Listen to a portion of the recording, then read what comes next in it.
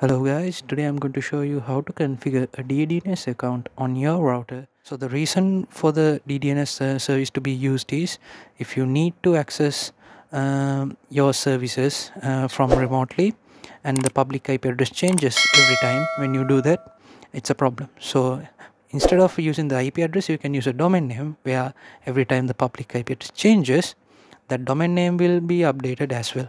So that is the reason that we are going to use DDNS uh, service to uh, configure inside, inside our router. So to uh, do is you need to log into your router first of all and make sure the service that you're going to use is available inside your router so if we go to applications in mine so the location may differ from yours so maybe it's in another place but normally it, it should be mentioned as ddns so i'm going to go to the ddns option so there are some several options available here so if i select the service type you can see that DIPC, DNS, DTDNS, no IP.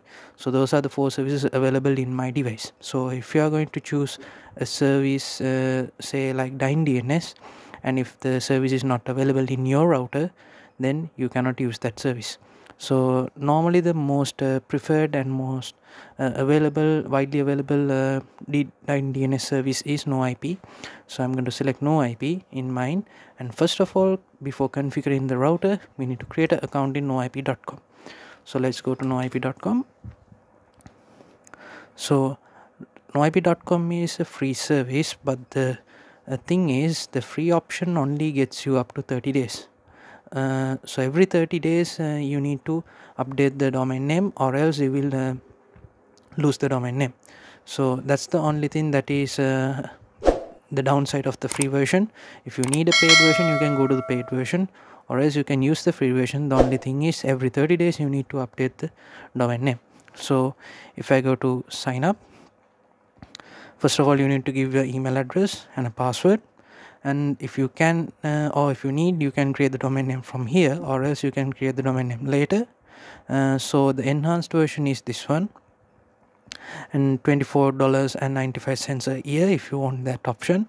You will get uh, 80 plus domain options 25 host names uh, no ads and those other things. The free version only gets you uh, one domain choice and three host names. So you can create up to three uh, host names on your service uh, but domain choices are only, only limited to one. So but the price is free. And uh, every 30 days you need to confirm. That's why it says cross. So you need to configure uh, or update the domain name or confirm the domain name every 30 days. Uh, so after doing that agree the terms and free sign up so by doing so you should be able to create the account. So i have already created my account in uh, noip.com so i'm going to log into my account. So let's go to sign in.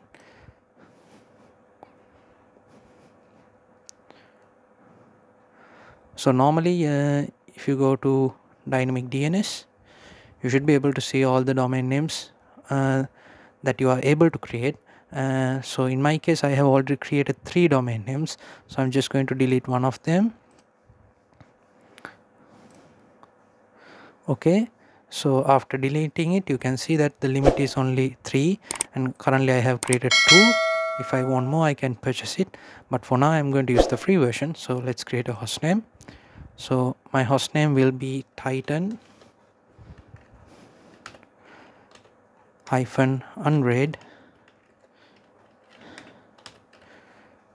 ddns.net so there are some free domain options here that are available here for free. Uh, if you need other domain names like these ones you need to buy the enhanced domain. Uh, so for now my ddns.net option is more than enough for me. And here you can select the record type. Uh, if it is an IPv 4 IP address or IPv 6 IP address uh, you can just select it normally the public IP addresses that we get are um, IPv4 addresses. So because of that we are going to select host A so afterwards uh, that's all. So you should be able to see your current public IP address uh, on this uh, interface. So if we verify that if I type what is my IP so this is the same IP address which we saw here. So then that's okay. Uh, so afterwards click create host name. So that's all from here. Now what we need to do is we need to copy the domain name. So as you see here the domain name expires in 30 days. So that's why uh, that's what i said before. So every 30 days you need to update the domain name. So copy the domain name that you just created and go back to your router's interface and go back to your DDNS option. So I'm currently on it so select the service type. If you are you want to use noip select noip.com and normally these will be filled. Uh, the username password and hostname are the ones you need to fill by yourself. So normally the username will be the account email address that you just uh, gave to create the noip.com account. So i have already given mine. And the password will be the password given to your noip.com account. So the, enter those two. And for the hostname you need to enter the one that we just created so just paste that here. So let's just log in back in.